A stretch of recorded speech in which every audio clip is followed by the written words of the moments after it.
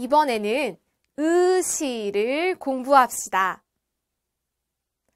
여러분, 나타샤 씨가 지금 뭐 해요?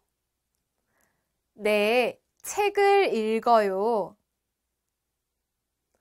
선생님께서는 지금 뭐 해요? 네, 선생님께서는 책을 읽어요. 선생님께서는 책을 읽으세요. 선생님께서는 책을 읽으십니다. 그림을 보세요. 나타샤 씨가 지금 뭐 해요? 네, 학교에 가요. 선생님께서 학교에 가요. 선생님께서 학교에 가세요. 선생님께서 학교에 가십니다. 선생님, 어머니, 사장님. 이렇게 나이가 많은 사람이 해요. 앉아요, 가요, 읽어요. 이때 으시를 사용해서 말해요.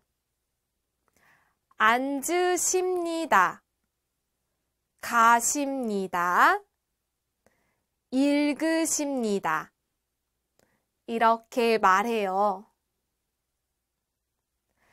으시 앞에는 동사가 와요. 읽다, 가다. 동사예요. 읽다.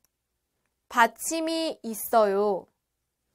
으시를 써요. 읽으시다. 이렇게 말해요. 가다. 받침이 없어요. 시를 써요. 가시다. 이렇게 말해요. 받침이 있어요.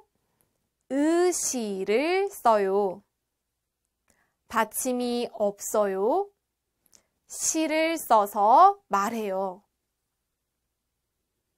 이제 선생님이 가요 라고 말하면 안 돼요.